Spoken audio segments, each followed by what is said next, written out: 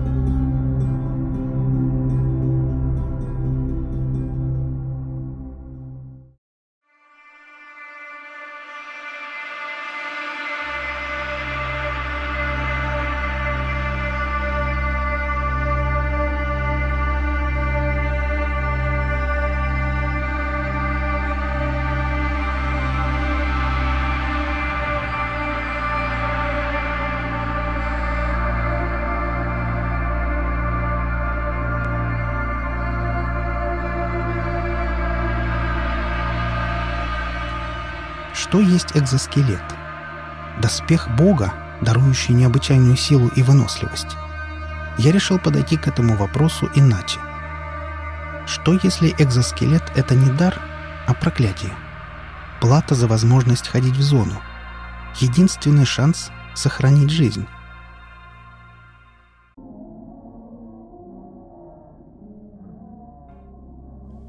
Я вернулся в лагерь на рассвете, чуть живой. Ног я почти не чувствовал и с трудом мог передвигать ими. Руки опухли и покраснели, вены сильно вздулись, распухший палец никак не желал ложиться на спусковой крючок. К счастью, или, может, к сожалению, мне на пути не встретилась ни одна тварь.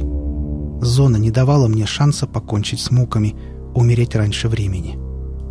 Она лелеяла меня — свое изуродованное дитя, довела меня до лагеря и там покинула, оставив наедине с отравой, медленно расползающейся по моему измученному телу. Я остановился возле прогнивших деревянных ворот, привалился к ним и замер, тяжело дыша. Что-то случилось с моими легкими. Говорить и дышать становилось все труднее. Всякий раз, когда я вдыхал воздух, откуда-то изнутри исторгался хрип — я стянул с головы шапку и швырнул ее на землю, коснулся рукой лба, затем встряхнул головой. Я провел языком по пересохшим губам и, озаренный внезапной мыслью, коснулся зубов. Слава богу, они еще целы.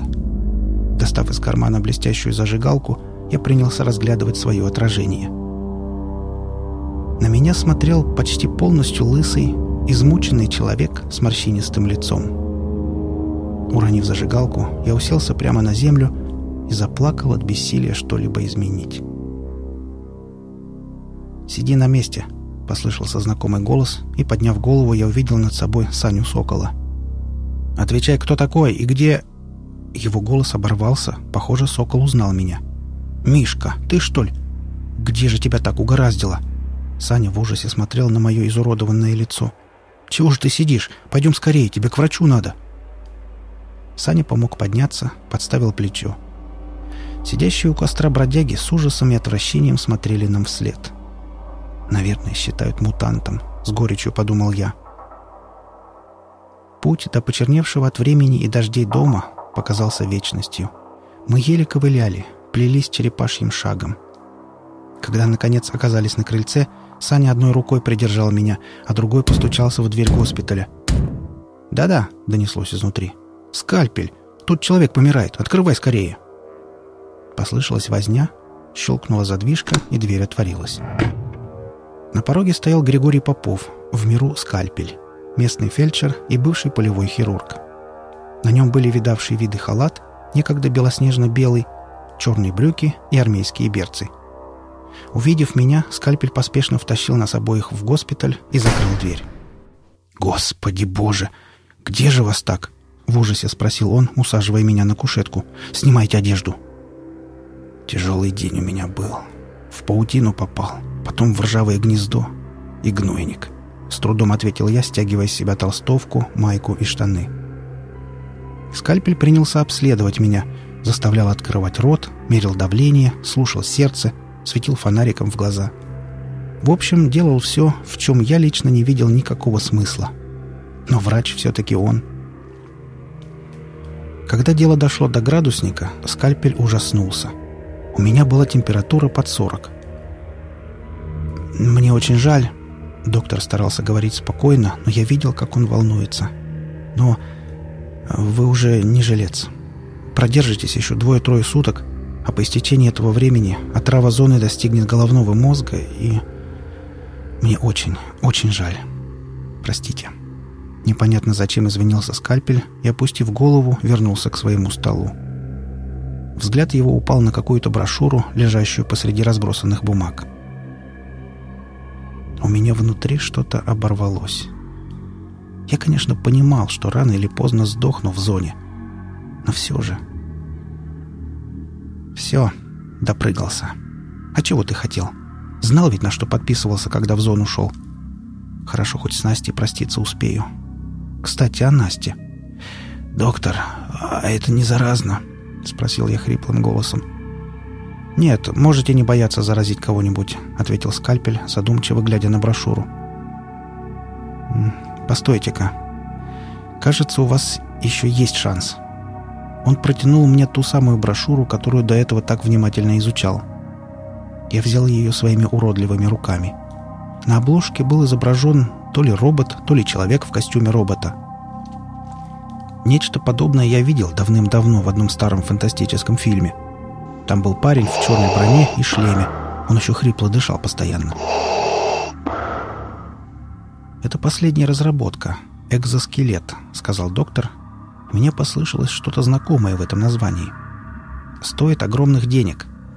Сама операция по вживлению человека в экзоскелет тоже стоит недешево но зато в нем вам не страшны никакие болезни и травмы. Правда, и о людских радостях придется забыть. Вы не сможете ни есть, ни пить, ни спать, ни... Сколько? Оборвал я, прекрасно понимая, к чему он клонит. 80 тысяч за экзоскелет и 40 за операцию, назвал цену доктор. Я задумался. Такая сумма у меня имелась. 150 тысяч лежали в сейфе в моем доме в Андреевке. Но я копил их на свадьбу и счастливую жизнь. Согласен. Говорить становилось все труднее. Я принесу вам деньги. Когда операция? Экзоскелет привезут из-за периметра через 2-3 часа после того, как я его запрошу. Вместе с ним приедет и хирург-специалист. Операция продлится от 4 до 6 часов. Хорошо. Скоро вернусь. Я поднялся с кушетки и стал одеваться. Впереди меня ждал нелегкий разговор.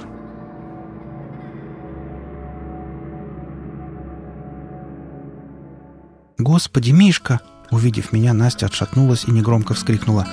Я шагнул вперед, бросил на пол доверху набитый добытым в зоне добром рюкзак. Последний хабар. «Что с тобой случилось?» — в ужасе спросила Настя.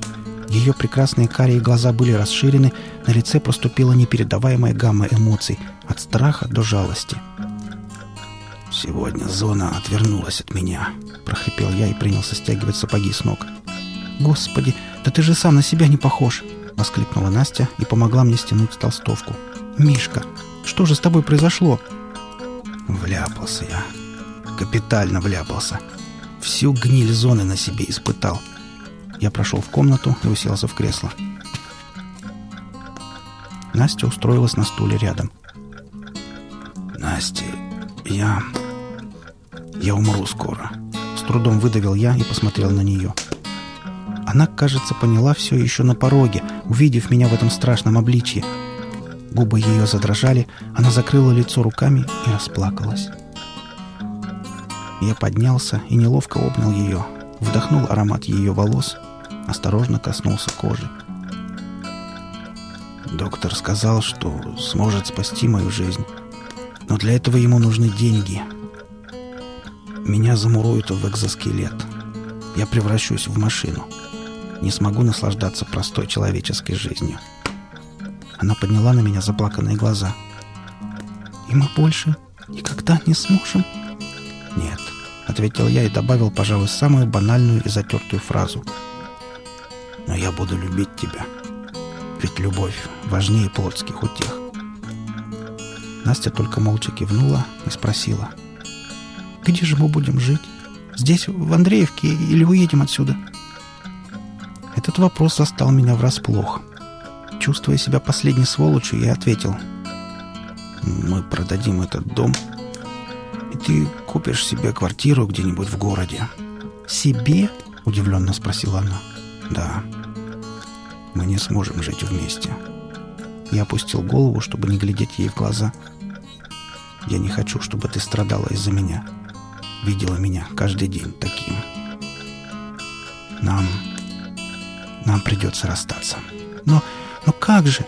Она не договорила, и я буквально почувствовал на себе ее взгляд.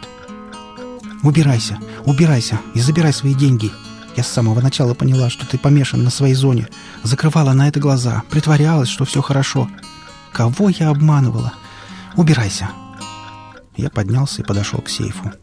Палец не попадал по маленьким кнопкам. Я скрипнул зубами от бессильной злобы. Наконец мне удалось ввести код. Дверца скрипнула и отворилась. Внутри лежали деньги. Пачки банкнот, заработанных моей кровью и потом. Я отсчитал 120 тысяч, остальное, остальное оставил там. «Прости, Настя, но мы не сможем так жить». Она ничего не сказала, просто сидела на стуле и плакала. И слезы, стекая по ее красивому лицу, падали на пол. «И я так не смогу», — тихо добавил я, закрывая за собой дверь. Я сидел на скамейке возле дома скальпеля и последний раз в жизни курил сигарету. В голове моей не было никаких мыслей, кроме желания поскорее покончить с этим. Распухшие пальцы с трудом удерживали крохотную сигаретку, а я делал затяжку за затяжкой, выдыхал дым, кашлял, вновь затягивался. На улицах лагеря было пустынно, не то что в Андреевке, за периметром. Немногочисленные обитатели лагеря наверняка пили водку в одной из деревянных хибар – резались в карты или готовились к очередной ходке. «Все готово, молодой человек». В дверях показался скальпель в чистом халате и маске. «Проходите». Я последний раз затянулся и швырнул окурок в траву. Скальпель постранился, давая мне пройти. Внутри я увидел операционный стол, столик с инструментами и его. Непоколебимый стальной костюм, стоящий в углу — Стальной шлем с хищными обводами дыхательной маски и черными невидящими линзами на месте глаз. Стальной панцирь с сервоприводами, дыхательным баллоном за спиной, стальные пластины на груди, механические конечности и железные мускулы. Скоро я стану с ним одним целым. Из соседней комнаты вышел еще один человек в белом халате, должно быть тот самый хирург-специалист. Нос, приступим. Я разделся и улегся на операционный стол. Зябко поежился. «Михаил, вы в очень плачевном состоянии. Только экзоскелет сможет поддерживать в вас жизнь». Я кивнул. «Отрава быстро распространяется по вашему телу. Ноги придется ампутировать. Вот здесь». Скальпель показал, где именно мне отрежут ноги. Я вновь кивнул. Мне было все равно. «Ваши легкие также поражены. Их придется заменить имплантатами». Также ваши руки. С них придется снять кожу, чтобы обнажить нервные окончания, с которыми будет связан экзоскелет. И, наконец, ваши глаза. Пока что вы, это... Пока что вы этого не замечаете, но ваше зрение также повреждено. Глаза будут заменены на специальные сенсоры. Я снова кивнул. А что мне еще оставалось? Говорить я уже не мог. Чертов вирус окончательно вывел из строя мой речевой аппарат. Начинаем. Скальпель взял со стола ампулу и отломил кончик. Наполнил шприц ее содержимым. Я почувствовал легкий укол в вену, и холод быстро стал распространяться по моей руке, а затем и по всему телу. «Снотворное действует», — подумал я. В голове проносились мысли, воспоминания о моей жизни, о родителях, учебе и уходе в зону. О Насте. Я задумался о смысле своей никчемной жизни. Чего я добился? Чего мог бы добиться, не свяжи свою жизнь с зоной? Наверное, я буду вечно ходить по зоне, собирая добро, продавая его скупщикам и складывая деньги в нычку. Чтобы жить, мне не нужна будет еда и питье. Я смогу круглосуточно бодрствовать, что, конечно, большой бонус в зоне. Но ради чего все это? Не лучше ли прожить остаток отпущенных мне Богом дней с любимой? «Стойте! Остановитесь!» — хотел закричать я, но из моей глотки вырвался лишь сдавленный хрип. «Снотворное вот-вот должно подействовать», — раздался словно откуда-то издалека голос скальпеля. «Вот-вот». Я хотел вскочить, закричать, чтобы они не делали этого со мной, вернуться к Насте в наш дом в Андреевке, но не мог. В последний раз дернувшись, я отключился. Первым, что я увидел, открыв глаза, была темнота. Тьма. Черная, непроницаемая тьма окружала меня. «Ослепили», — подумал я. «Или, может, я уже умер?» «Он очнулся», — послышался голос скальпеля, что-то щелкнуло, и включились оптические сенсоры, заменяющие мне глаза. «Что со мной, доктор?» Мой голос звучит непривычно глухо, словно из склепа. «Операция прошла успешно, Михаил», — говорит скальпель. «Теперь вы с экзоскелетом единое целое». Я рывком поднялся и сел на операционном столе осмотрел свое тело, а точнее экзоскелет, в который я был вживлен. Стальные руки сжались в кулаки, я встал на металлические протезы, вдохнул воздух вживленными в грудь имплантатами, которые теперь заменяют мне легкие. Хотелось убить скальпеля и его молчаливого коллегу. Хотелось, но повода не было. Я сам на это подписался. Я сам в этом виноват. Вам придется раз в две недели приходить ко мне, чтобы пополнить запас питательных веществ, которые автоматически поступают в ваш желудок каждые три часа». Я кивнул в ответ и поднялся. Подобрал с кушетки кажущийся легким и невесомым калашников. «Не забудьте, каждые две недели!» — донесся мне вслед голос скальпеля. Я не ответил. Молча сжимая в конечностях автомат, я вышел вон из дома скальпеля и теперь двигался вперед. Куда? Прочь отсюда. Прочь из этого места. Прочь от этих людей. Туда, где уже ждала меня самая коварная особа из всех, кого я знал. Зона.